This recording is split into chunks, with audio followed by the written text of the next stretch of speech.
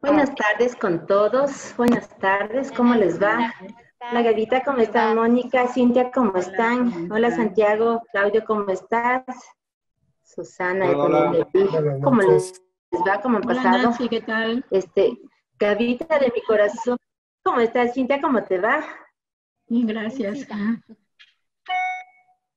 Hola Cintia. Gavita, he pasado con el internet hecho pedazos y la última reunión me botó de la, de la videoconferencia. Por si acaso ya te puse como cojos, pero he pasado toda la tarde, pero entrando y saliendo. Peleada. mi reunión por teléfono porque ya me sacó de la sesión. Ya no te preocupes, yo estoy pendiente. Estar ahí pendientes, ya, perfecto. Este, con los compañeros, hay un componente técnico medio fuertecito ahora, ¿cierto, mi Gaby? Sí, sí, sí. Tareas, foros, mensajes. Oh, sí. Ya. Ay, qué raro. Perfecto. Vamos por el casito. Voy a hacer, por si acaso, una, una, una nueva aclaratoria sobre los procesos de, de exoneración, Gavita, ¿ya? Hecho. Por las dudas de los compañeros. Perfecto.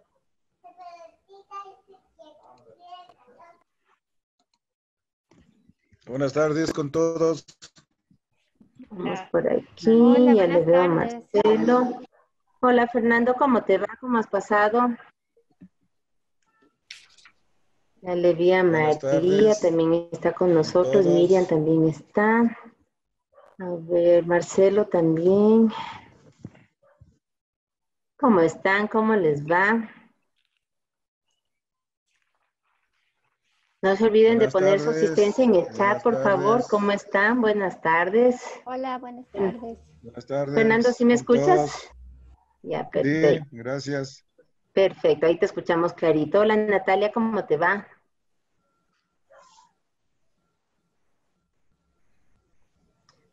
Buenas tardes con todos. Hola. Uy, uy, uy.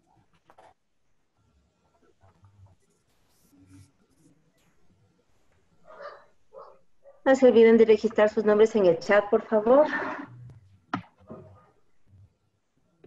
Listo, por aquí estamos con Al- Alba, ya la vimos. Buenas tardes con todos. Mario. Hola Mario, ¿cómo Hola, te va? ¿Cómo estás? Bien, Le- mando un mensajito porque todavía no me he organizado cómo va a ser el. Y Cordy, estamos escuchando toda tu conversación, toditita. Perfecto, vamos por acá. Ya está Mónica. Hola Claudio, ¿sí estás bien? ¿Si nos escuchas? Claudio, Claudio, ¿sí nos escuchas? Sí, escucho todo. Eso, perfecto. Ahí ya te escuchamos clarito también nosotros. Tengo una compañera que dice Cachigo, pero no sé cuál será el nombre para poder registrar la asistencia. No se olviden de poner sus nombres cuando ingresan a las salas, ¿ya? Eh, de cambiarlo también, también en los puntitos. Sí. Sí. Perfecto. Cambia el nombre de compañerita para registrar la asistencia. Lo mismo tengo un compañero que dice Tati Mariño, pero no ha de ser Tati, ¿no es cierto? Ahí cambiemos el nombrecito en la sala para que te registremos la asistencia, ¿sí? Hola Sofía, ¿cómo te va? ¿Escuchas? Sí, sí, Nancy, ¿qué tal? Buenas tardes. Buenas tardes a todos. Qué gusto, ¿cómo Buenas tardes. Ya, ahí sí. Perfecto. Buenas tardes, ¿cómo les va? Eso, Carlos, Carlitos, ahí sí, pues Carlitos, ¿sí o no? Buenas Sí, tardes, buenas tardes con Buenas todos. tardes, qué gusto, ¿cómo les va? Hola Victoria, ¿cómo has pasado? ¿Qué tal, Nancita? ¿Qué tal, Gaby? Hola, buenas Buenas tardes. tardes con todos. Hola Francisco. ¿cómo te va? Giovanni, ¿cómo estás? Giovanni les saluda. Ya te vi, Bien, querido gracias. Giovanni, ya te vi, ¿cómo has pasado? Bien, gracias. Ahorita con problemas de conectividad, pero bueno, ahí dándole. Sí. Saben que está en, está en todo Quito, está una, está una intermitencia terrible, terrible, terrible. Así que vamos a, dígame, mija pregunta. bella, ¿cómo le va? Yo estoy un Con poco gusto, perdida. dígame, mija. Yo soy del G5, pero decía que tenemos reunión este momento 18 y 30, pero veo que este es otro grupo. No sé si estoy bien. Sí, mi hija Bella, con el grupo G5 tenemos los jueves a las seis y media. Mañana tenemos a esta hora. Ah, mañana. Ahora es con el grupo 3, entonces el jueves tenemos con, con usted. Sí, el jueves, mañana tenemos a las seis y media en este mismo enlace, mija. Igualito, ya. Y pero Buenas puedo noches con quedarme todos. escuchando. Ramiro Hidalgo se reporta. Gracias. Quédense nomás tranquilos, todos son bienvenidos. Gracias. ¿Cómo les va? Dígame. una pregunta. Con gusto, dígame. Eh, los que pe- pedimos exoneración ya no debemos asistir, debemos asistir. Ya, ya les voy a contar a toditos eso, querido Mario. Ya les cuento a toditos porque tenemos algunos compañeros por ahí. Les voy a repetir todas las instrucciones para que nos quedemos claritos. Esperemos dos minutitos más y les doy todas las instrucciones del proceso de exoneración, ¿de acuerdo? Gracias. Perfecto, con mucho gusto. Ya le vi a Marcelo, Ramiro, también estás por ahí. ¿Sí nos escuchas, Ramiro? Sí, hola, buenas noches. ¿Qué tal? Buenas noches con Qué todos. gusto. Y Nancy, buenas Hola, noches. ¿Cómo ha pasado, Ramiro? Bien, muchas También gracias. Ramiro Hidalgo, ¿estás por ahí? ¿Cómo te Buenas noches. querido Ramiro Hidalgo? Buenas noches. Ya Tengo una compañera que dice noches, MGE. gusto, Gustavo. ya no le conocen, sí le ¿Qué conocemos. dice, por aquí. Tocayo? ¿Cómo estás? Tengo una, com- una compañerita MG Elizabeth, pero no sé cuál será el nombre completo. MG Elizabeth. Ayúdenos poniendo el nombrecito para poder ah, controlarles la asistencia, ¿ya? Buenas. Le vi a Gabriela Curio. ¿Sí me escuchas, Gavita? Hola, Gina, ¿cómo Sí, te va? sí, sí, perfecto. Buenas noches con todos. Perfecto. Buenas noches. buenas Vamos por acá. No, no sé si me escucha Gonzalo, Jimena, Natalie, Edison. No les veo. Ya te vi, Gonzalo. ¿Cómo estás? Jime, también ya te vi. ¿Cómo te va? Edison. ¿cómo estás? Bien, gracias. Qué gusto. ¿Cómo les va? Sergio también está por ahí. Cristina. Luis Dávila, no te veo, querido Luis. ¿Estás por ahí? Ya le vi a la Yoli. Hola, Yolita, ¿cómo le va? ¿Cómo ha pasado? ¿Cómo estás? Sí, ¿cómo te va? Qué gusto. Ahí está Marcela, Miriam Chávez, ya, me- ya te vi, Miriam, hace un ratito. Jaime, Jaime está en el carro, ¿no es cierto? Car- Jaime imagín- manejará con cuidado, querido Jaime. Con cuidado, si no, ahí le dejamos la grabación para que revise por si acaso. Listo. Ya le vi a Andrea Donoso, Natalie. Perfecto. Osvaldo, no te veo. Osvaldo Espinosa, no sé si estás con nosotros. Cristina también. Luciano, tampoco le veo. Por ahí está Alexandra. Jimé Leiva. Todos. ¿Cómo les va? Buenas noches, qué gusto. Natalie, a ver, ya le vi a Bolívar. ¿Cómo te va, Bolívar? ¿Sí me Buenas escuchas? ¿Cómo estás? Sí, gracias. Buenas noches con todos. Qué gusto. Beatriz Borja, también, ¿cómo estás, Beatriz? ¿Sí me escuchas? Hola Nancy, perfecto. Buenas Qué noches gusto, ¿cómo todos. estás? Buenas Hola, noches. Alba, ¿cómo te va? Buenas- Buenas noches. Hola, Jorge Hermida, ¿cómo estás? Hola, buenas noches. por aquí.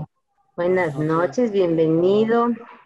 Le veo a Marcelita, también está con nosotros. Freddy Herrera. No le veo a Eric, ni a Sergio, ni a Luis Dávila. ¿Sí estarán con nosotros?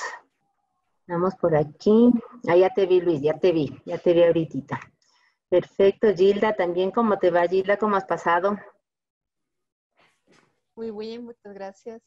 Buenas noches con todos. Perfecto. No se olviden de colocar su nombrecito en el chat para poder registrarles. Ya le vi por aquí también a Sergio. Andrés, ¿cómo te va, Sergio? Buenas noches. Hola, Perfecto, vamos por acá. Hola, Francisco, ¿cómo estás? Bien, gracias Nancy. Buenas noches. Buenas noches con todos. Buenas noches. Ya le vi a José Piñeiros también. Hola, María Carrasco, ¿cómo te va? Hola, José, ¿cómo estás? Buenas tardes a todos. Perfecto. Buenas tardes, ¿cómo les va? Listo, ya creo que estamos la mayoría. Ahora sí podemos ya ir empezando. Este, Gavita Bella, le dejo la administración por si acaso salga de aquí despedida sin, sin previo aviso. Florencia también ya creo que está con nosotros. Hola, Boris, ¿cómo te va? ¿Sí ¿Me escuchas bien? Está sin micrófono, querido Boris.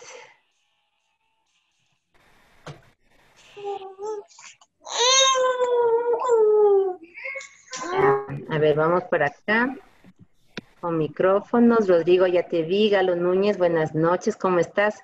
Querida Hola, Florencia, ¿cómo le va? ¿Cómo ha pasado? Carito, Caro Vega también está con nosotros. Gusto. Perfecto. Ya. a todos. ¿Cómo has pasado? ¿Qué tal, Carito, tiene que presentar la cédula de identidad o no le vamos a dejar entrar a estas capacitaciones. ya Buenas le avisamos, ya le avisamos. Buenas noches, ¿cómo estás? Hola, Jime, ¿cómo te va? ¿Sí me escuchas, Jime Leiva? Perfecto.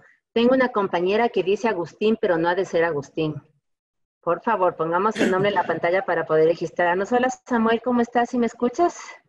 Sí, muy bien, gracias. ¿Cómo estás Ya tú? te mandé la capacitación de Teams, querido Samuel. Si necesitas algo más, me avisas, ¿ya? Ana Gabriela, ya le vi por aquí. Ya está Sandra, Marín también. ¿Cómo te va, Sandra? ¿Sí me escuchas? Perfecto. María del Rosario, ¿cómo te va? ¿Sí me Bien, escuchas? gracias. Buenas noches. Buenas noches, qué gusto. Miguel Ortiz, ¿cómo te va, Miguelito? ¿Cómo has pasado? ¿Sí me escuchas? No te escucho, querido Miguel, no te escucho. Bueno, vamos por acá. Listo. Entonces, ahí le dejo la administración, mi querida este, Gavita. Gavita, si estás por ahí. Gloria Costa también ya se nos Sí, unió. Nancita, aquí estoy. Perfecto. Ah, ya, ya te vi, ya, le- ya te vi. Perfecto. Vamos por aquí un ratito más, viendo qué Hola, compañeros buenas más han tardes. unido. Buenas tardes con todos. Buenas tardes, ¿cómo estás? Qué gusto. Hola, Pablito, ¿cómo te va? Buenas A noches los con tiempos todos. te veo, Pablito. Hola, Moni, ¿cómo te va, Moni Mancheno? ¿Sí nos escuchas bien? Sí, Moni, muy ¿sí bien. nos escuchas? Sí, muy bien, gracias. Perfecto, nena. listo. Bueno, entonces, estamos listos para empezar, queridos compañeros. Eh, les decía, cuando recién entramos, estamos con problemas de conectividad en todo Quito. Así que vamos a estar entrando y saliendo por ahí. Vamos a comprender la situación de todos. Vamos a tratar de completar la videoconferencia. Vamos a administrar entre la Gavita y yo. Si es que me vote el sistema, se queda la Gavita o al bebé, ¿sí? Bueno, primero quería agradecerles por acompañarnos otra sesión más. ¿Qué semana es esta nuestra ya, Gavita? ¿La cuarta o la quinta? La quinta. Perfecto. Sin darnos cuenta, ya estamos de la mitadcita más allá. Así que les quería solamente hacer una aclaración respecto al proceso de exoneración que me han comentado varios compañeros. Les voy a dar las aclaraciones que ya les dio Gavita, pero para poder solventar las dudas. La exoneración se toma desde la semana 4 en adelante. O sea que ustedes tienen que cumplir con todos los aportes hasta la semana 4. De aquí los compañeros que se quieran exonerar son bienvenidos en la videoconferencia, pero ya no es obligatorio pero los compañeros que se van a exonerar sí van a tener que presentar al final, cuando lleguemos a la semana 8, un checklist de todas las secciones que son necesarias verificar la administración que ya les compartió Gavita y también van a tener un examen. Entonces, este examen no es una cosa gigantesca, pero sí vamos a evaluar la parte de administración del aula desde la parte andragógica y didáctica. Entonces, los que quieran ir por el proceso de exoneración, les insisto, van a recibir este checklist y van a tener esta evaluación que se va a hacer en la semana 8. Mientras tanto, el resto de compañeros seguimos normal aportes, igual vamos a seguir en el proceso de las tareas, el acompañamiento y las videoconferencias. Eh, yo creo que con eso ya está más o menos respondida tu pregunta, querido Mario. Pueden seguir viniendo acá. De hecho, nos ha pasado súper interesante. La mayor parte de nuestros compañeros que han optado por el proceso de exoneración, más del 80% sigue participando en las videoconferencias. Así que este es un material abierto para que puedan ustedes seguir asumiendo o la clase regular o la parte de lo que podría ser la exoneración. Con esa aclaración, no sé, María Elizabeth, creo que tienes una preguntita, dime. Sí, Nancy, perdón que no me quedó claro. Estamos en la semana 5. Dices que la exoneración es desde la semana 4, pero no hemos recibido ninguna indicación de continuar o no continuar. Sí, en la reunión anterior, muchas gracias por la pregunta, Elizabeth. Justamente en la reunión anterior les habíamos dicho, los compañeros que quieran optar por la exoneración tienen que comunicarse directamente con Gavita o conmigo. Y con eso nosotros ya les ponemos en un grupo aparte para que si desean nos acompañen desde la semana 5 en adelante o si no ya simplemente van trabajando en sus aulas. Los Sí, pero no compañeros, por eso les decía eso, Gavita en un inicio, Discúlpame que Ah, no hemos recibido eso. Es Ya. decir, Eh, está- Gavita les hizo la aclaración la vez anterior, pero si no, no, no te preocupes. Eh, de todas maneras, pasada. valga la ocasión entonces entonces, hice mala Elizabeth, para hacerles la aclaratoria. Tal vez hice mala pregunta. Si es que hay personas de exoneración, ya, ya no continúan desde la semana 5. Sin embargo, estamos en la semana perfecto. 5. Ajá, eso, exactamente. Para eso era la aclaratoria en esta, en esta reunión, Elizabeth. Si tú pediste la exoneración, tranquilamente te queda solamente hasta la semana 4 y desde la quinta en adelante ya no es obligatorio, sino que vas a presentar tu aula armada y la evaluación final. Si deseas continuar con todo el curso, pues igual nos acompañas. Y ahí la aclaración también que les decía Elizabeth. Si pides la exoneración, pero quieres acompañarnos en la videoconferencia, eres bienvenida. Pero si ya no quieres participar, igual nosotros te vamos a pasar a través de Gavita el checklist de cuáles son los elementos que se van a evaluar y la fecha y hora de la evaluación eh, del examen que vamos a tener. Tienes una cosa mayormente complicada. Pues no sé si ahí te, te queda un poquito más claro.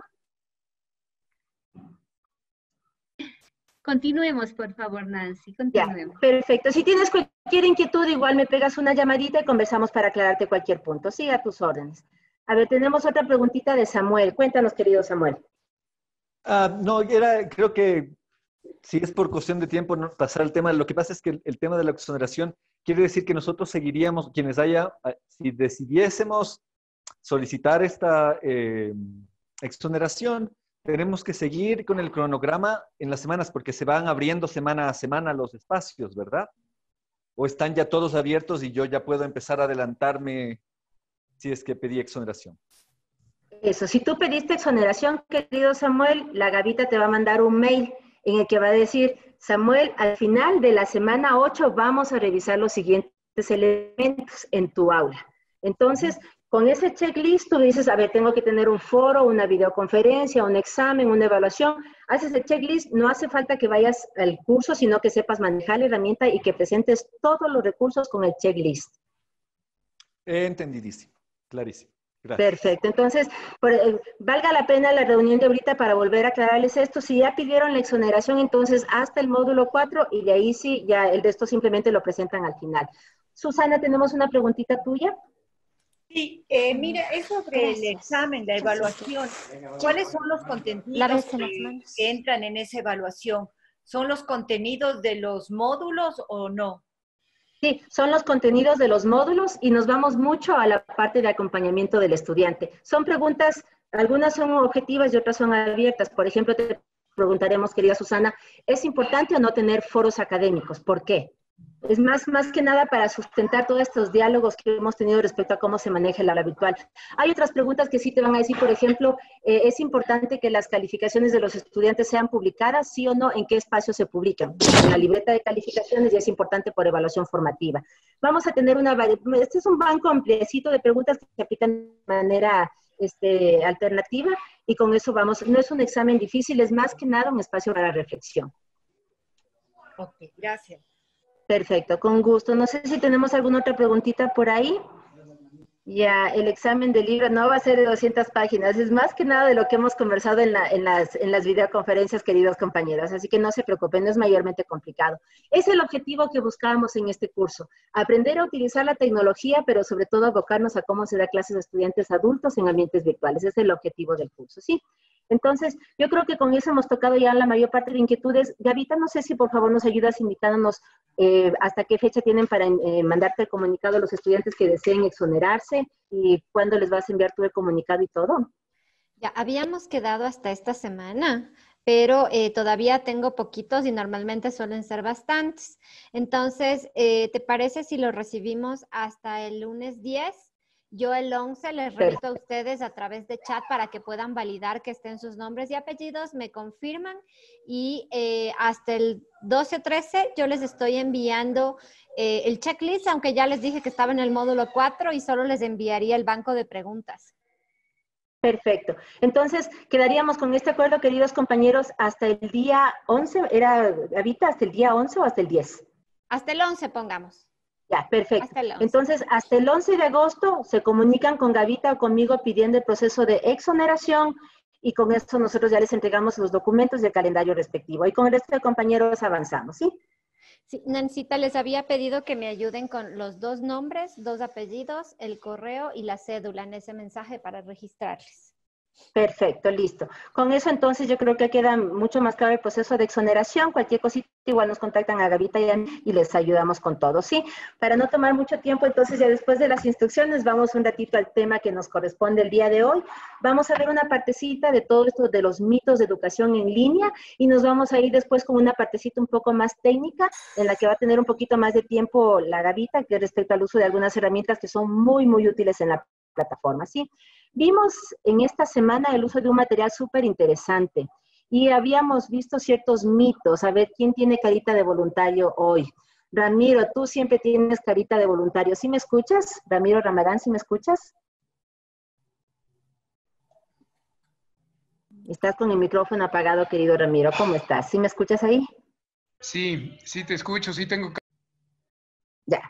Pero ahorita no podría colaborarles, tengo una situación familiar un poquito seria. Sí, sí, no te preocupes, tranquilo, Entonces Ramiro, estoy sigue un nomás. poquito preocupado, por eso es que... Ya no- sigue, sigue nomás, no te preocupes, tranquila. A ver, vamos por aquí. ¿Quién? Vamos por aquí con Jackie Ceballos. ¿Sí me escuchas, Jackie? Sí, claro, Nancy, ¿cómo están? Con una buena noche con todos. Uno de los mitos que ¿Cómo me llamó la atención es eh, este que es lo mismo dar una clase virtual como una clase presencial. Perfecto. Después de la experiencia que hemos tenido, Jackie, ¿cuál es tu conclusión frente a ese mito? Mm, Bueno, eh, realmente ha sido una experiencia nueva para, para mí. En, mi materia es ABP, es aprendizaje basado en problemas eh, y es una sesión con 10 estudiantes. Realmente lo tratamos de hacer eh, como lo más, eh, lo más, no, no sé si decirlo, lo más presencial y el doctor Ramadán es mi compañero de clase, entonces me, me debe estar escuchando. Ha sido una experiencia muy nueva. Sin embargo, eh, pienso que y reflexiono en que si hubiese tenido más herramientas virtuales, si hubiese atado a, a links, a videos, a, a la hora de la clase, pues tal vez hubiese llegado mejor a mis estudiantes. Perfecto. Entonces, básicamente lo que, lo que entiendo de, tu, de tu comentario, Jackie, es que no- esta, este modelo que manejamos presencial, este, tratamos los mismos temas, la misma planificación, pero el proceso de educación en línea es totalmente diferente. Y lo que mencionas ahorita, Jackie, eh, ventajosamente tenemos ahorita la oportunidad de revisar con tiempo lo que tú dices ahorita, Jackie, buscar qué recursos, qué materiales, qué link. Una profe me decía, esta, esta presentación, Nancy, siempre fue el éxito en mi clase presencial y ahorita es un fracaso en el ambiente virtual. Entonces, poder revisar los contenidos con tiempo para manejar este espacio con nuestros estudiantes de manera estratégica es súper importante.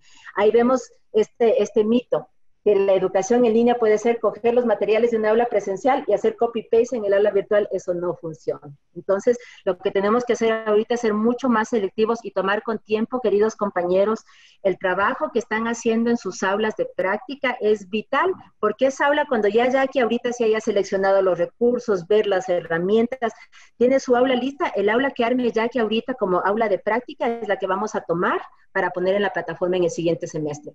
Pero que sus alumnos lleguen, a ver, yo les decía siempre, compañeros, la educación es también cuestión de confianza. Cuando yo entro al aula de Jackie y veo recursos, videoconferencia, foro, todo súper estructuradito, yo como estudiante que tengo la idea, la profesora está súper planificada, súper clara. ¿Qué pasa si yo entro a un aula y veo un repositorio con 20 mil documentos por ahí? ¿Por dónde empiezo? ¿Cuál utilizo? ¿Es para esta semana o para la siguiente? ¿Qué hago aquí? Esta desubicación en el ambiente virtual también es importante para considerar como docentes. Tenemos tiempito para investigar, seleccionar y tener súper claro. La educación presencial no puede ser un copy-paste para el aula virtual. Necesita una organización. Tengo también ahí, muchas gracias querida Jackie. Tengo una preguntita por ahí para ver dónde estás, Pablito. ¿Estás con nosotros, Pablito? Te tengo una preguntita. Hay otro mito que dice que la educación en línea es más fácil que la presencial. ¿Sí me escuchas, Pablito? Sí, depende, ¿no? A ver, cuéntame. Depende de, de cómo se organice el docente. Yo Ya. creo que eso depende más de, del, del nivel de exigencia del, del docente, ¿no? Y cómo usa las, las herramientas. Obviamente que si, si la plataforma no se usa adecuadamente y no, y no se le hace el seguimiento, pues puede que se caiga en esa tentación y el docente pues eh, decida como pasar más rápido, ¿no? Pero Perfecto. yo creo que de- depende de cómo maneje el docente las, las herramientas, ¿no? Y puede ser por desconocimiento que ha podido llegar a pasar eso en algún momento. Y hay algo que mencionas aquí súper estratégico, Pablito. Fíjense ustedes, cuando trabajamos en un ambiente presencial, tenemos nuestros recursos, nuestros materiales, pero cuando hablamos de un ambiente virtual, están nuestros materiales y también las herramientas.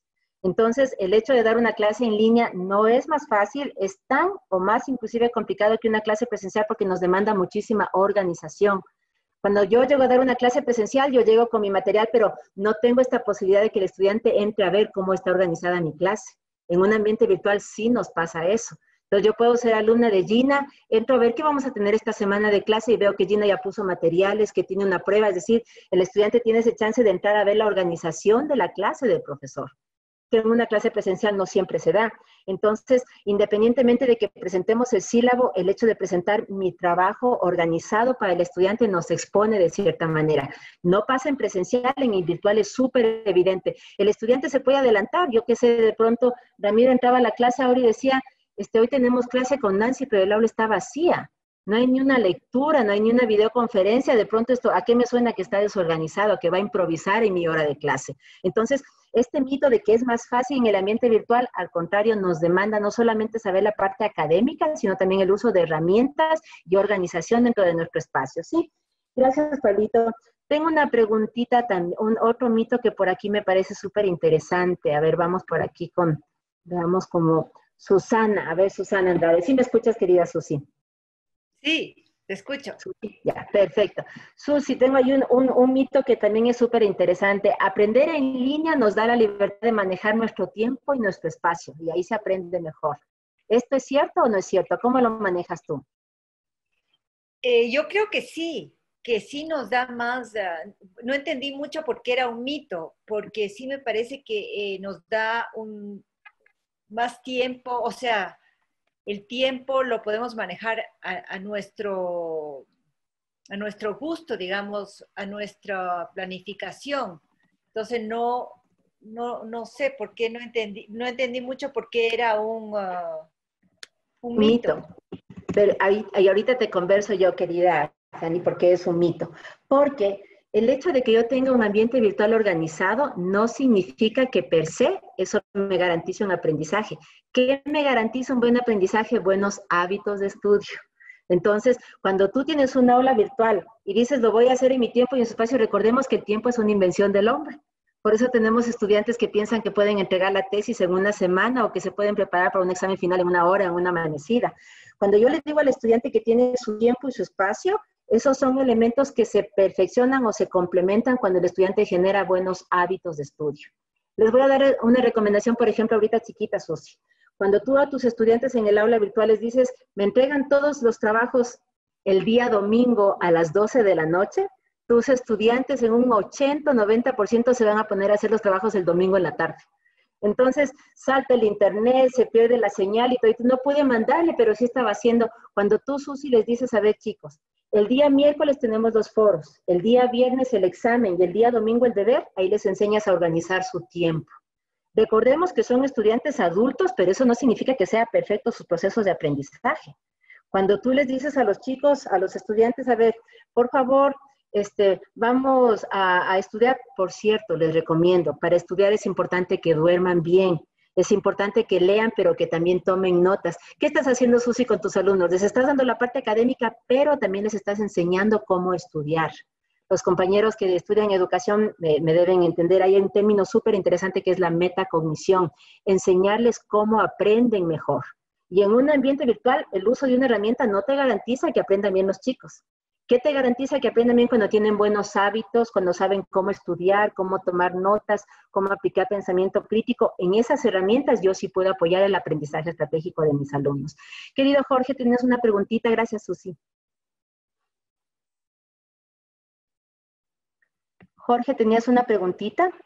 No, no, no, no ah, tenía pregunta. aquí veo la manito levantada nomás, por eso te decía, de una manita por aquí. ¿Quién tenía una preguntita por ahí que veo una manita? El otro Jorge. El otro Jorge. Pero por ahí estuve cerquita, estuve cerquita. Vuelvo al mito anterior. Y lo, Pablo eh, respondió y tú aclaraste en relación a la facilidad para el docente. Mi pregunta es, Eh, ¿Hay evidencias vinculadas a la facilidad para el estudiante?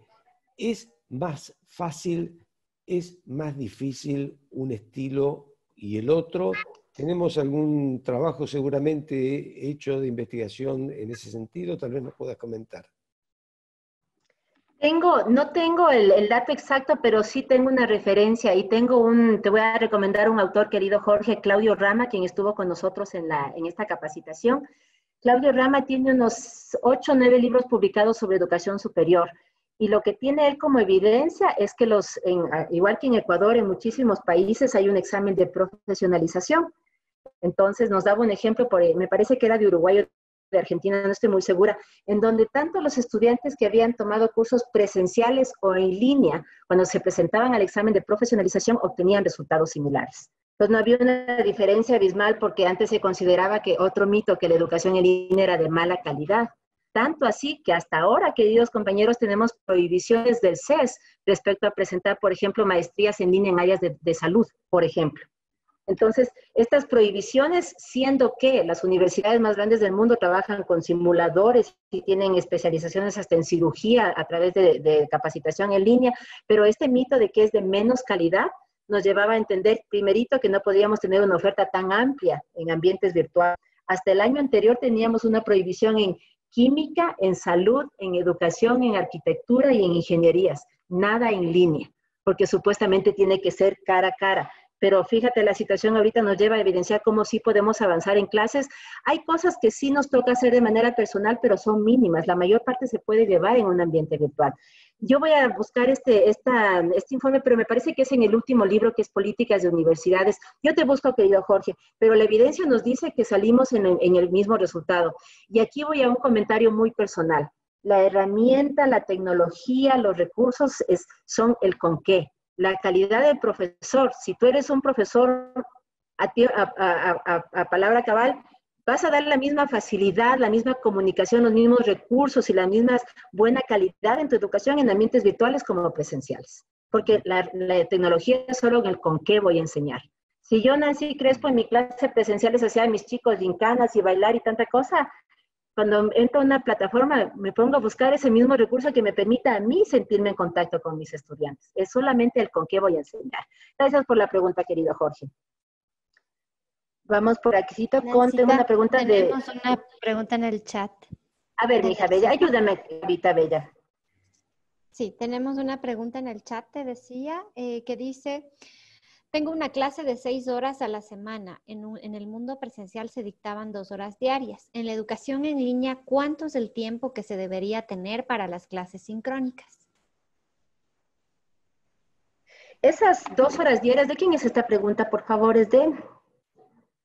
Patricio Proaño. Ya, muchas gracias. Querido Patricio, tus dos horas en el, en el tiempo de encuentro sincrónico son iguales que las presenciales. Yo, me imagino que en tus clases tú llegabas y les hacías a los chicos grupos y exposiciones y tú también argumentabas y hacías... O sea, esta dinámica no se pierde en el ambiente virtual. El hecho de que tengamos dos horas de videoconferencia no significa que son dos horas en las que yo voy a pasarme hablando o la que yo voy a hacer solamente explicaciones. Igualito que en el ambiente presencial, nos reunimos, los chicos actúan, investigamos, hay trabajos de grupo, la misma dinámica y riqueza didáctica que tú tenías en un ambiente presencial.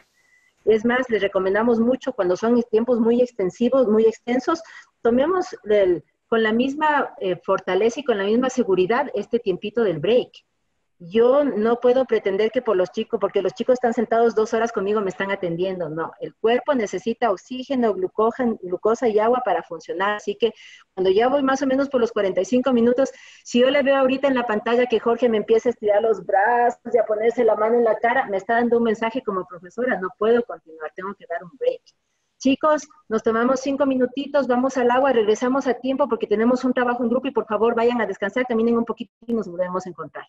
Entonces, no es sinónimo de tener un buen control de clase, tener a los chicos sentados durante dos horas. Al contrario, esta dinámica no se pierde en el ambiente virtual. ¿Sí? Tenemos más preguntitas, querida Gavita. Sí, Nencita, tenemos de Cintia Caicedo. Dice, dime por favor si los tópicos en general y los matriciales son caldo de cultivo, por así decirlo, para los mitos. Esto me ayudaría a entender el artículo de los tópicos a los mitos.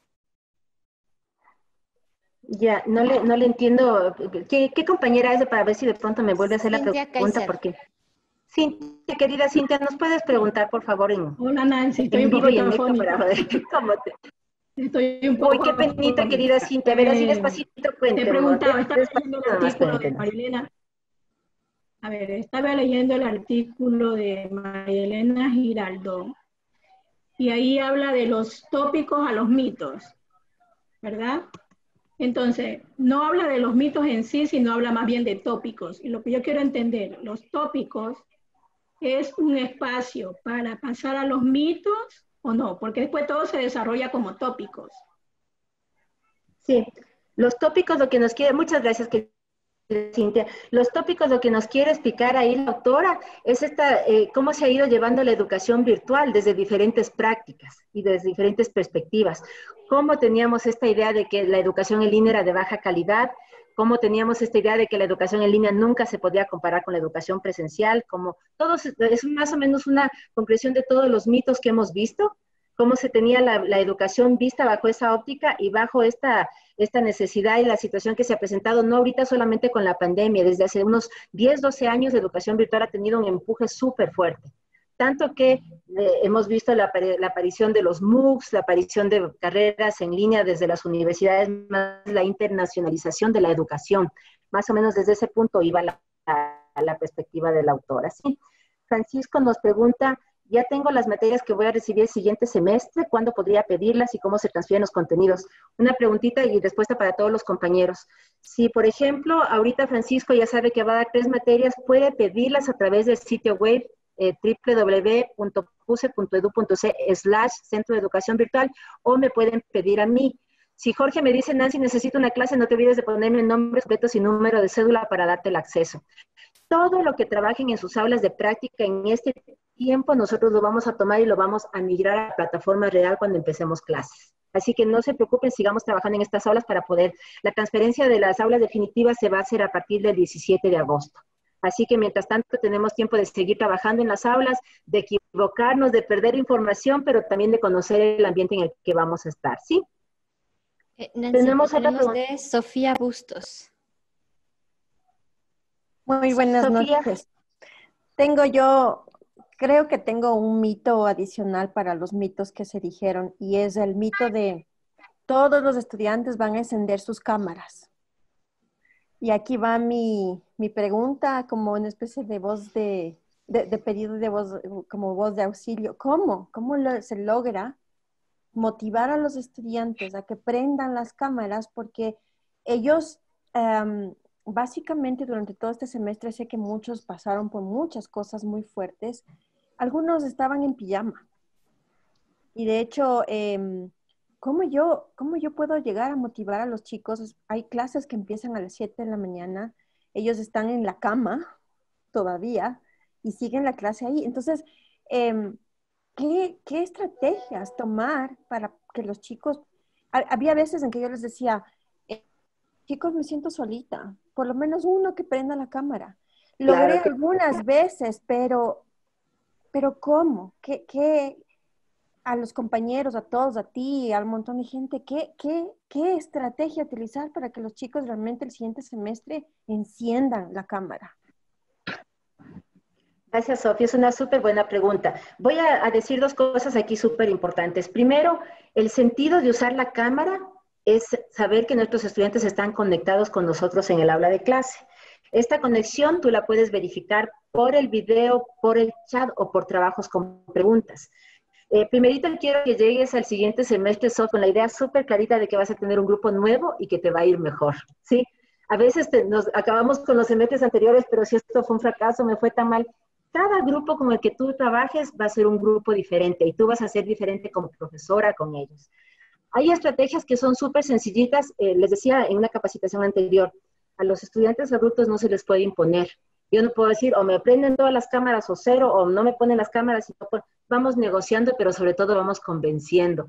Me encantó una estrategia que tenía una profesora de inglés que nos compartió el otro día que decía, yo disimuladamente, Nancy, cuando empezamos la clase les digo, a ver, póngame cada uno un verbo que quieres, que quiere para un ejercicio, pero les pido que me pongan en un papelito y que me presenten en la cámara el papelito. Entonces, disimuladamente les pido que pongan la cámara. Hay chicos que definitivamente pueden usar la cámara por cuestiones personales, sociales, pero ellos me escriben en el chat. Y lo mismo ella me decía, cada vez que yo doy una clase, les digo a los chicos, o hablo de cualquier tema, les digo a los chicos, pero quedó entendido, a ver, escríbeme una palabra o una oración clave de lo que acabo de decirles en el chat. Y dice, el momento que yo veo que el chat se empieza a mover, están conectados conmigo, estoy tranquilo. Entonces, busquemos diferentes alternativas. Eh, no sé si me escuchan, ahí sí me escuchan.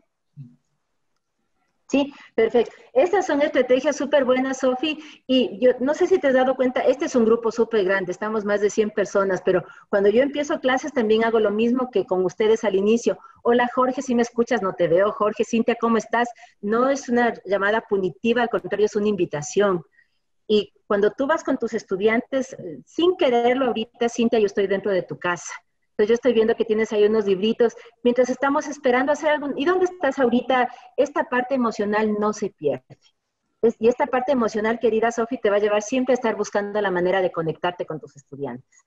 La, la, que nos decía la profe del papelito, yo también nos decía que les hacía gincana a los estudiantes, que les decía, a ver, vamos a hacer una gincana variada para el que gane la gincana saca 10. Quiero 10 palabras estratégicas o la fórmula de ni sé qué cosa y una media rosada. O sea, mezclando elementos, el juego, lo que les decía en un principio, la lúdica no se pierde en los adultos. A todos los seres humanos nos encanta jugar, nos encanta reír y nos, nos encanta sentirnos bien. Entonces, esta profe de, inglés, no me acuerdo el nombre de la profe de pelo cortito, me decía, les digo, a ver, necesito ver en un papelito escrito 10 verbos en infinitivo, una media rosada, una oración en pasado transitivo y una, y, y una cuchara, por ejemplo. Todos los chicos iban corriendo y regresaban con eso, estaban jugando, pero también estaban aprendiendo. Cuando nosotros tenemos emociones, sonrisas o circunstancias fuertes, el aprendizaje queda mucho más en los seres humanos. Si yo le pregunto, por ejemplo, no sé a quién se me ocurre, le voy a preguntar a, Yolanda, Yolita García. ¿Te acuerdas tú qué pasó el 11 de octubre cuando pasó esto de las Torres Gemelas? ¿Te acuerdas dónde estabas o cómo estabas? Claro que sí. Súper importante, estaba en un carro, son cosas que uno le van marcando que uno no se olvida. A lo mejor uno se acuerda la fecha, yo, yo soy pésima para las fechas, pero yo no me acuerdo de la experiencia vivida en ese momento. ¿Qué, ¿qué, fue, ¿Qué fue lo que le pasó a la Yoli ahí? Esta parte emocional tan impactante dejó esa imagen, esa información de manera permanente en ella. Cuando nosotros con los estudiantes tenemos emociones fuertes, no digo trágicas, sino emociones positivas, los chicos se ríen, juegan, conversan, el aprendizaje por la parte emocional se queda mucho más tiempo con nosotros. Cuando yo me paro aquí delante y les digo, buenas tardes, ¿cómo están? Por favor, abran el libro, lean esto, si entendieron, perfecto, chao. Ninguna emoción de por medio, tampoco hay aprendizaje significativo. Entonces, les insisto, compañeros, esto del juego, de la vivencia, entre más nos divertimos, más aprendemos. Y tengamos esto súper clarito. En alguna parte de nuestra historia en la educación se quedó con la idea de que solo los niños chiquitos en preescolar juegan y cantan y se ríen. No, eso tiene que llevarse en todos los procesos de educación. De educación. Cuando Jorge hace que los chicos hagan una gincana, que conversen, que se muevan, esta parte emocional, les insisto, fundamenta y deja mucho más tiempo la información con nosotros. La parte emocional es súper importante. ¿Tenemos alguna otra preguntita, querida Gaby? No, Nancita. Avancemos nomás. Ya, perfecto. Entonces, este es un tema súper interesante para conversarlo. Eh, perdón, ¿tenemos ahí alguna intervención? Yo quiero preguntar una cosa, Ramiro Hidalgo. Ramiro, ¿cómo te va? Con gusto, dinos. ¿No sirve de nada entonces poner reglas al inicio del curso? Por ejemplo, la clase empieza 7 y 30 en punto.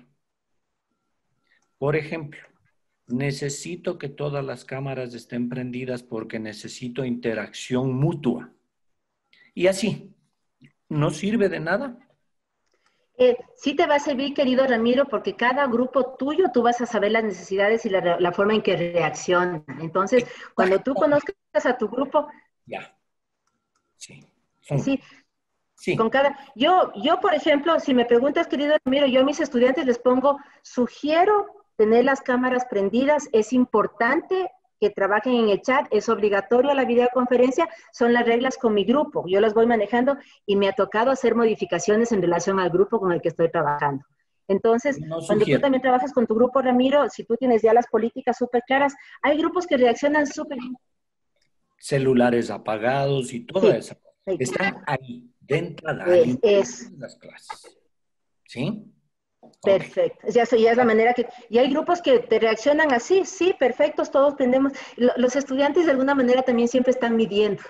O sea, me comentaba, me comentaba una compañera, les pedí durante todo el semestre que prendan cámaras, cámaras apagadas, pero el examen final, como era una, un examen oral, les dije, si no están prendidas cámaras, no les puedo tomar el examen, toditos prendieron las cámaras. Entonces, es una suerte de ir conociendo nuestros grupos, de ir negociando, porque son adultos, de ir, como les decía, imponiendo, sino convenciendo de por qué hacemos las cosas en nuestra aula, ¿sí? Florencia nos dice una preguntita, en medicina cada grupo de ABP es distinto, uy, ya se me fue la pregunta, tú tienes por ahí la pregunta, Gavita Bella. Sí, en medicina cada grupo de ABP es distinto y tiene diferentes necesidades a medida que resuelven un caso. El aula virtual de cada grupo, por lo tanto, requiere diferentes actividades de consolidación del conocimiento. ¿Qué recomendaciones habría frente a esto? Este, querida Florencia, en tu aula tú vas a tener una estructura que es similar, pero todas las actividades, los recursos, las diferentes mediaciones que tú busques para contactar con tus estudiantes son variadas. Entonces, tú tienes, yo siempre insisto, la educación es un proceso vivo. De pronto, Yolita organizó una clase perfecta con un video, con materiales. Ella va a empezar la clase y los chicos le dicen, no entendimos la clase anterior. O sea, no puedo avanzar, tengo que retroceder en relación a las necesidades de mis estudiantes. Y nuevamente insisto en esto, la tecnología es solamente el con qué. Si yo siento que algo que no quedó claro, que no está llegando de la manera en que yo quería, si siento que el proceso de aprendizaje no se completó, pues tengo que utilizar los recursos y herramientas que mi modalidad, que mi, mi grupo me esté demandando, ¿sí? Entonces, eh, hay una estructura que tú vas a trabajar como básica, pero toda esta dinámica, toda la didáctica depende del profesor conforme va conociendo a su grupo, ¿sí? ¿Tenemos alguna otra preguntita por ahí? No, ya no. Ya, perfecto. Es un tema para conversarlo muchísimo. De todas maneras, ahorita nos toca una partecita con la Gavita que también les va a resultar de muchísimo interés. Gavita va a explicar unas secciones que van a ser como, como muy, muy útiles para nosotros durante todas las semanas de clase, así que la explicación que les va a dar Gavita hoy también está de manera ampliada en los videos tutoriales de su sitio web de recursos para profesores. Sí, te dejo Gavita. Gracias, Nancita. Estoy compartiendo pantalla. Esperamos un ratito y me cuentan cuando ya puedan ver mi pantalla, ¿sí? ¿Podemos verla? Sí, ahí sí podemos. Sí, perfecto. Entonces, eh, bueno, ya hemos venido trabajando un, un primer espacio en el aula virtual.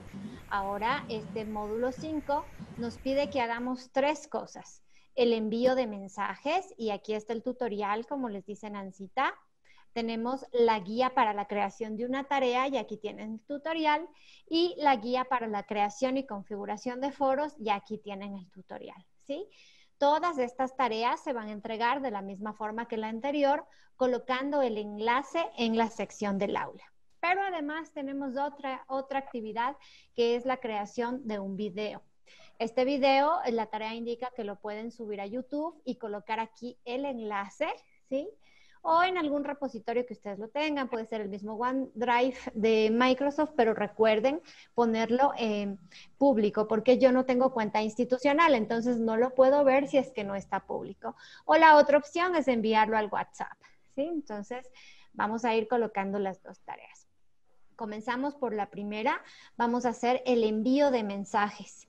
¿Y cómo yo envío y a quién envío el mensaje? Para yo poder evaluarles, el mensaje tienen que enviarme a mí. Entonces, desde su aula de práctica, ustedes van a hacer el envío de mensajes. ¿Y cómo entrábamos al aula de práctica? ¿Alguien se acuerda? ¿Cómo entrábamos al aula de práctica?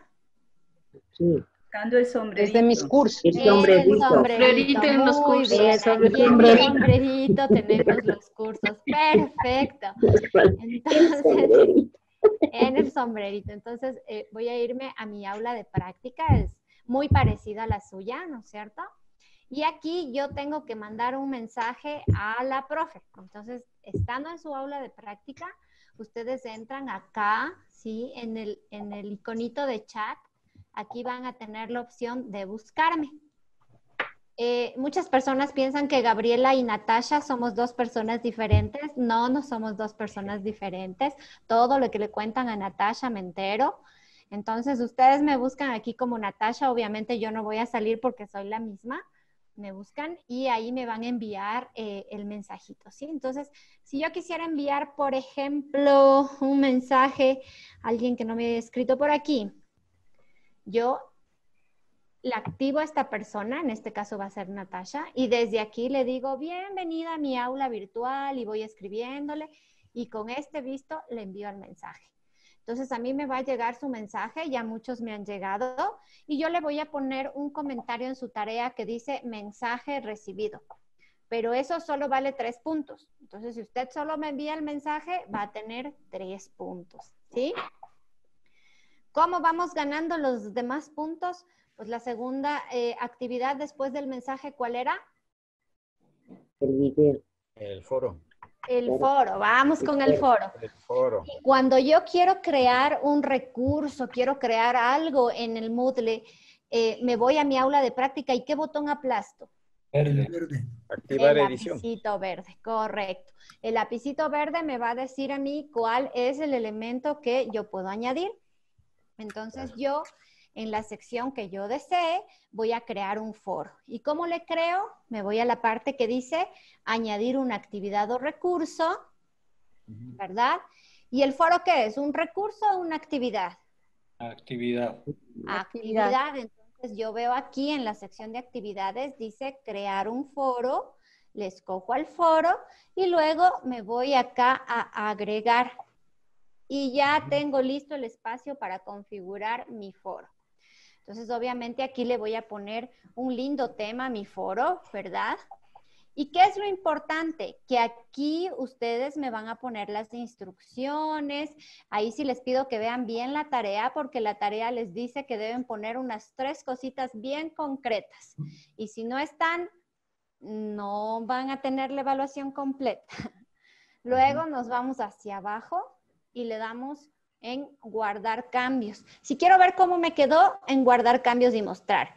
Si quiero ya solo regresar al curso, guardar cambios y regresar al curso. Yo les recomiendo que primero siempre le vean qué tal les quedó. Entonces aquí ya tenemos el foro. ¿Sí? ¿Y qué es lo que va a hacer usted? Aquí, en este foro, cuando esté en este foro, se va a ir acá a la parte de arriba, si ve el, el URL que estoy señalando. Ese es el que me va a mandar en su tarea, porque me está enviando directamente al foro. Entonces usted lo que hace es marcarle así como yo, con un cliccito le arrastra, así le marca, y le da clic derecho, copiar, o desde el teclado control C copiar, y entonces se va a ir a su tarea en el curso de certificación, ¿verdad? Háblele la más. Acá tenemos en, el, en, el, en, la actividad que tengo que enviar mi tarea de foro. Y en esta tarea voy a cambiarme un ratito a rol de estudiante.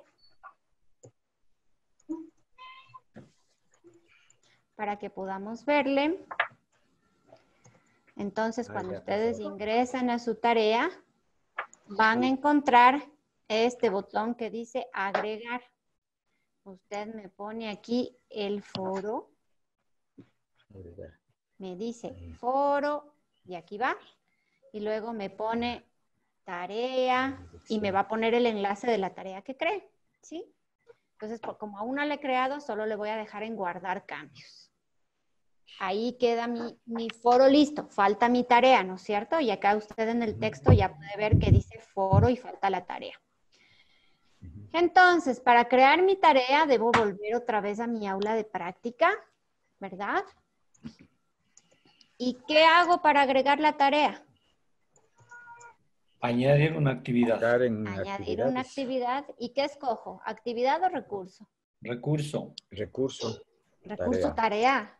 No, es actividad. Es actividad, tarea. Entonces le busco actividad, tarea y le pongo agregar. Muy bien. Actividad.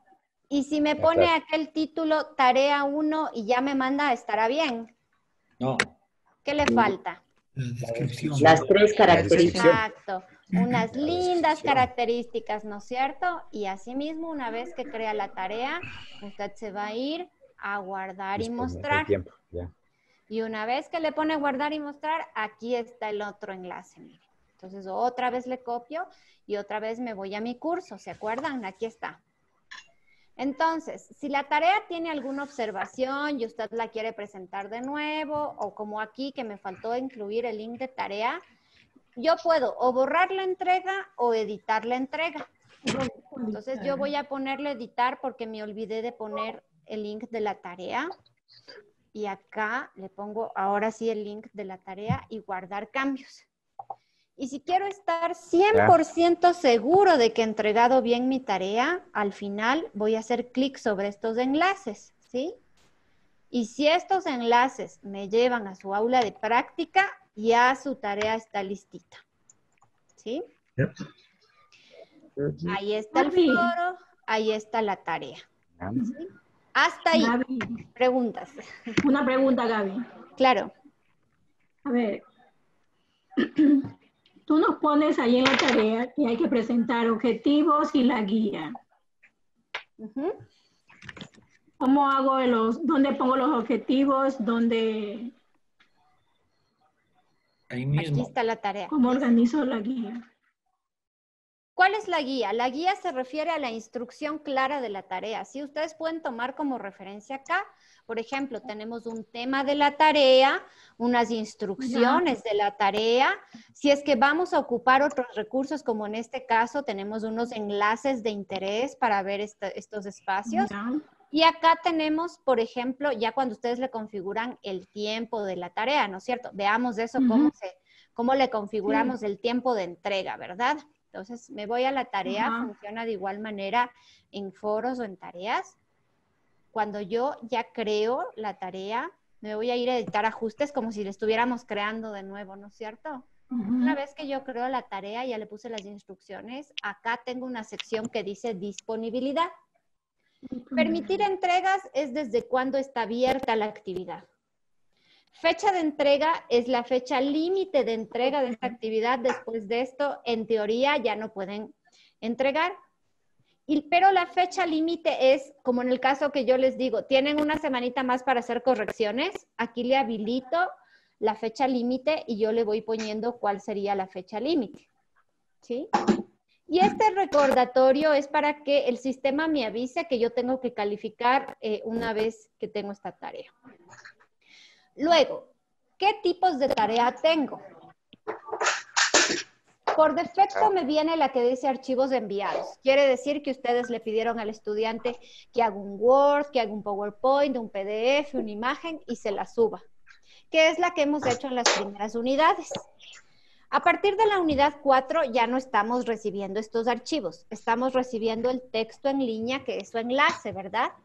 Este texto en línea es cuando ustedes desean que el estudiante le escriba algo. Y yo puedo incluso restringir el número de palabras. ¿Sí?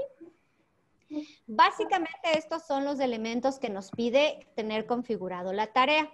Pero si somos un poco más curiosos, podemos revisar estos otros temas de Moodle como los tipos de retroalimentación, si queremos que estén activados los comentarios o si los desactivo, si puedo anotar en los PDF, si es que voy a tener una hoja externa o no, si es que va a haber un comentario en línea o no.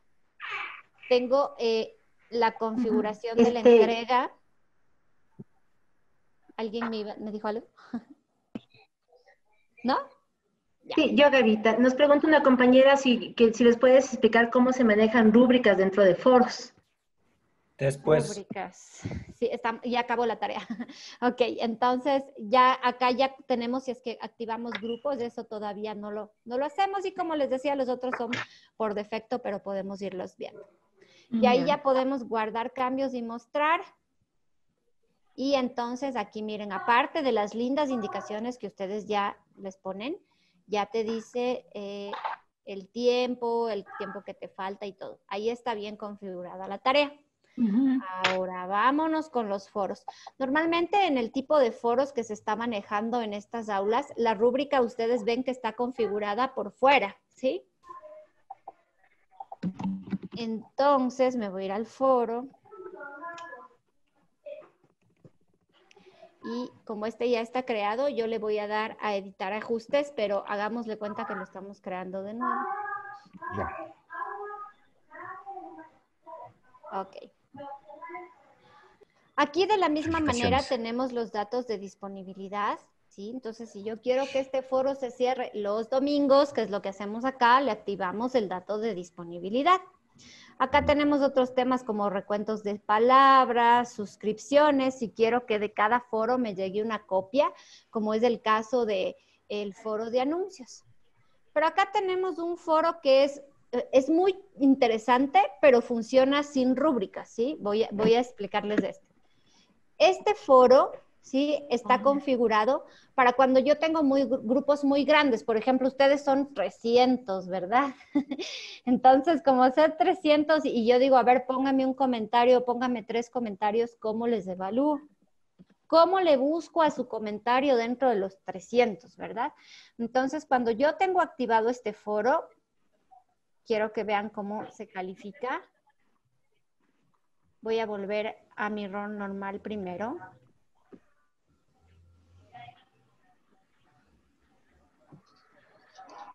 Y me voy a ir al foro. Esta es una, una herramienta muy interesante de esta plataforma. Entonces, por ejemplo, cuando ya me llegan sus foros, ¿verdad? ¿Cuántos dice aquí? Dice que sobre mitos yo tengo que evidenciar que al menos cite un tutor, ¿verdad? Y que aquí me dice en el foro que opine sobre uno o dos comentarios. Sí, mire, dos comentarios. Entonces, ¿cómo les encuentro a todos?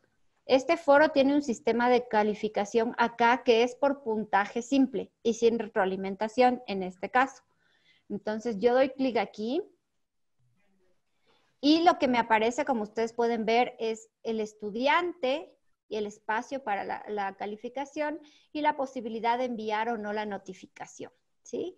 Entonces, por ejemplo, cuando yo tengo una participación, no me han hecho los deberes ninguno. ¿Qué pasó?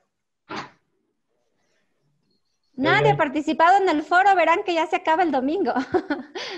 Miren, por ejemplo, les, recuerdo, ¿no? Tenemos a José.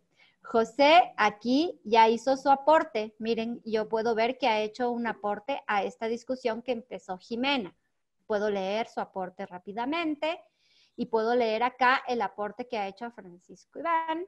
Y puedo ver que acá hizo su aporte a Karina, y puedo ver que acá está el aporte suyo con la respectiva bibliografía. Entonces, yo puedo revisar eh, en un solo espacio los aportes que ha realizado. Por eso cuando me dicen, no, yo te juro que sí hice los dos aportes, ya ven que no es tan, tan fácil decirles al sistema, ¿verdad? Eso en este caso de este foro que se maneja así. Rúbricas normalmente lo manejamos con este espacio de acá de calificaciones. Acá eh, tú puedes colocar el promedio, el número de calificaciones y demás, ¿sí? Déjame ver, creo que estoy errada. Y ahorita nos piden si puedes repetir, por favor, la parte de calificación del foro. De este foro de Great, ¿sí? Este de acá. Ok.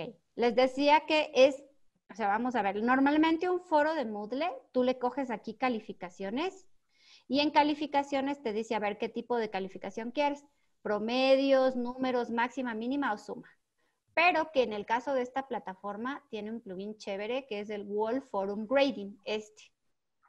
Entonces ya le escogimos el grade, el tipo de grade, puede ser escala o puntuación. En este caso yo voy a poner puntuación, le voy a poner que sea de 100, le voy a poner que sea eh, simple o directa, puede tener una guía de evaluación o una rúbrica, ya solamente la seleccionas. Y eh, si hay categorías, le incluimos categorías, si no, no le incluimos. ¿sí? Y luego ya le damos guardar y mostrar. Pero ¿cómo funciona este foro? Cuando yo voy a calificar su foro, ¿sí? Tengo aquí, miren, ustedes aportan igualito que en cualquier foro de Moodle, pero cuando yo ya voy a calificar, este está con puntuación simple, ¿no es cierto? Directa. Yo me voy acá, Great User, y lo que hago es ir avanzando entre los usuarios. Entonces, se me perdió José, aquí está José. Entonces, yo puedo revisar los aportes que ha hecho José, los leo y le califico de acuerdo a la instrucción. Un aporte personal y dos, mínimo dos comentarios a sus compañeros. Yo le pongo aquí la nota, ¿no es cierto? Y luego le doy clic en guardar. y ya se queda guardado. Eso lo hacemos cuando seleccionamos este espacio. ¿Sí? Mm. Ok. Luego acá ya tenemos otras opciones de ajustes y restricciones. Entonces ya le damos guardar, a guardar cambios. Y le esperamos al foro. Perdón. Aló. Listo. Gaby, ¿Sí? eh, yo tengo una consulta sobre las rúbricas. Yo he venido usando un- rúbricas que son la misma para eh, cierto tipo de tareas que se da unidad a unidad, el mismo tipo de tarea de escritura. Ajá. Pero cada vez que yo eh, busco esa rúbrica, me toca poner primero en las creadas por mí y volver a repetir y se me va creando un chorro porque creo que no lo estoy haciendo bien. ¿Cómo hago para tener grabada una rúbrica que yo pueda replicar en varios espacios si es, eh, por ejemplo, todas las actividades orales se usa esa misma rúbrica? ¿Cómo puedo incorporarla en diferentes eh, módulos? El, el mismo, la misma rúbrica sin tener que ir a mis... Exacto, yo uso el- el- las- la, ventanita de, de editar, de nueva... eh, la- formulario. A partir de una plantilla. Digamos que yo ya tengo una. Yo uso a partir de la plantilla. Pero, Pero te ahí- tienes que crearla nuevamente, ¿no es cierto? Ya, tú tienes esa, por ejemplo, ahí, ¿no es cierto? Ya, aquí está la plantilla. Para ensayo. Ajá. Ya. Ya, por ejemplo. Entonces, lo que pasa es que a mí no se me ha grabado ahí. Cuando yo pongo ahí, no me sale nada. Y tengo que hacer clic arriba en la parte en la que tú pones las creadas por ti y ahí me salen, pero cada vez que yo incorporo en una tarea, se me duplica, se me duplica, se me duplica. Entonces luego tengo que ir un chorro para ir buscando la siguiente. No hay una forma más óptima de manejar eso. Lo que pasa es que esta está creada ya como una plantilla y las que tú tienes acá se van creando también como plantillas, ¿no es cierto? Claro, pero ¿cómo yo grabo ese propio formulario para que sea de acceso en est- a este nivel y no tenga yo que poner clic en el propio formulario y se me genera el chorizo? Ah, ahí sí me tomaste la lección. Acá yo tengo la sección de utilizar esta plantilla, pero no sé si cuando tú ingresas acá, igual le pones utilizar esta plantilla, pero tiene que triplicar, se triplica todo por completo. O sea, sí, lo, lo que pasa es que cada vez que yo creo una plantilla y la vuelvo a usar, se vuelve a repetir y se repite y se repite. Y luego cuando tengo como tres o cuatro rúbricas, tengo que andar localizando y bajando y bajando para volver a escogerla. En vez de que se queden las tres, la, la una o las dos o las tres que he creado ya como fijas como la que tú estás viendo ahorita. ¿Cómo le grabo para que se vea así? Esa parte sí les voy a pedir a Nancita que les ayude la Alexito. Ajá, Sí, va sí. seguro. Querido Samuel, ahí nosotros vamos a conversar con el administrador de la plataforma a ver si puede haber un mini desarrollo para que salga, porque por default te van a salir todas siempre. Puede haber un mini desarrollo, yo creo que si nos comunicamos mañana un ratito, querido Samuel, para reunirnos con Carlitos y ver cómo se puede resolver eso desde la parte de ya la administración Técnica. de la plataforma como tal, ¿sí? Perfecto, Nancita. Y cruzo el dato, eh, hago un tutorial chiquito y les cruzo el dato en el desert. Chévere, chévere. De una. Ok. Pero eh, para esta tarea no es necesario que lleguemos a la rúbrica. que en ese contactar a Carlitos. Entonces, se me fue. eso. Gracias, Gaby. Sí, se me fue, el- el- se me fue la conexión, Ancita, no te escucho. ¿Tú me escuchas? Sí, ahí nos escuchamos. Ya, perfecto. Eh, entonces, eh, ven, en este caso la tarea no pide la creación de rúbricas, en este caso eh, estamos hablando solo de la creación del foro, de la creación de la tarea y de la creación del mensajito, ¿sí? Entonces, eh, si al respecto tuvieran alguna pregunta, me cuentan. Todas las tareas a partir de aquí vamos a manejarlas así siempre con enlaces, ¿sí? Sofía. Gracias. Una pregunta. Eh, me gusta mucho cómo ustedes organizan en el foro y ponen revisar la rúbrica aquí. Y cuando uno le da aquí, se abre la rúbrica. ¿Cómo, cómo logro hacer eso? Ya, esto lo, lo haces con un enlace. Eh, deme un segundito para compartir otra vez. Aquí estamos en, el foro, por ejemplo, ¿ya? Entonces, eh, perdón que ya. Me voy aquí a editar ajustes y digamos que en tu instrucción la palabra aquí es esta, ¿sí? Entonces tú le marcas y aquí le das enlace. Las rúbricas del curso están construidas en Genially o están construidas en PictoChart. Entonces lo que haces es colocar el enlace del Genially o el enlace del PictoChart y en el momento que le des clic se va a ir a ese espacio. Muchísimas gracias. Listo. Eh. Gaby, Gaby. ¿Sí? Aprovechando, se me fue la conexión cuando estabas explicando la creación del mensaje. ¿Me podrías repetir esa, esa partecita, por favor? Sí, claro. Eh, ya se me cruzaron los controles nomás. Denme un segundito.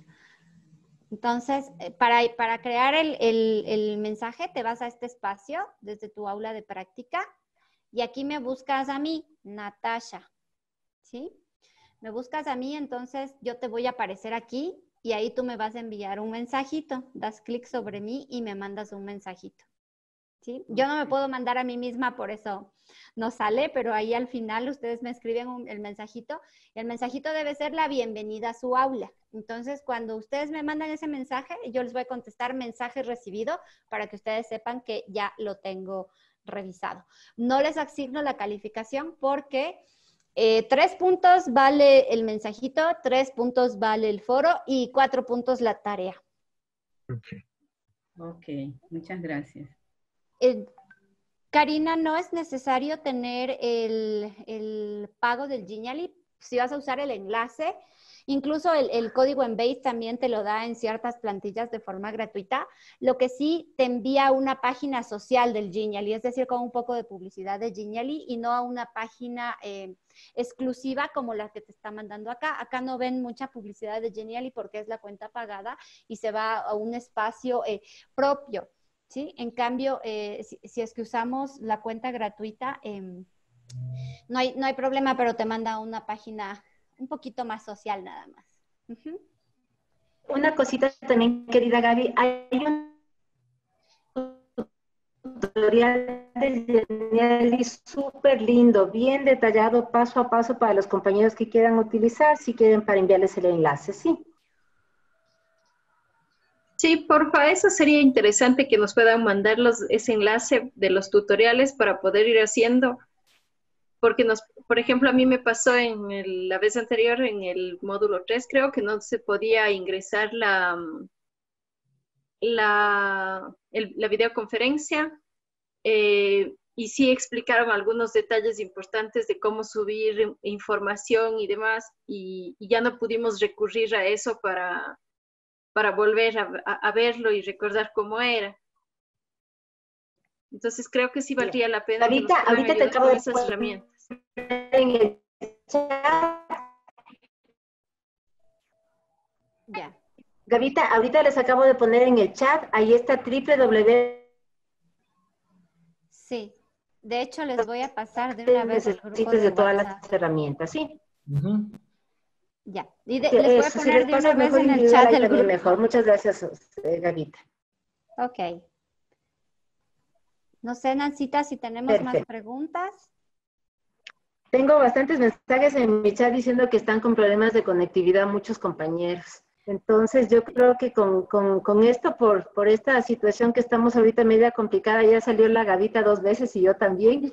Entonces yo creo que estaríamos con la mayor parte de temas tratados. No sé si tenemos alguna pregunta adicional. No sé si tenemos eh, alguna inquietud. Estamos con el internet. Me preguntan si el video eh, que solicitamos es, em, es enviado a mi chat personal. Sí, pueden enviarlo a mi chat personal. Ajá. Yo prefiero que me manden el enlace que el video propiamente dicho, porque me llenan bastantísimo el salud, pero no hay problema. Les recibo por chat personal. Por favor, el número del chat, porque no tenemos algunos el, chat del, del, WhatsApp. Ahora les pongo en el, en el chat, ¿ya? Gracias. Eh, Gabrielita, una pregunta, por favor. Estoy con problemas de conexión. Sí, no sé quién me estaba hablando. Miguel, Miguel Ortiz te saluda. Eh, quería hacerte una, una, consultita respecto al video. ¿Puede ser un, un video de internet y hacer un, un video editado? Ah, mm, bueno, lo que, nosotros queremos como objetivo en el video es ver su expresividad precisamente a través del video y cómo se comunica. Pero una cosa importante, lean bien la instrucción, sobre todo la temática del video. ¿Sí? No es un video de bienvenida a su aula virtual. Motivación a usar aulas virtuales. Exactamente, motivación al uso de aulas virtuales. Ok, gracias. Bueno.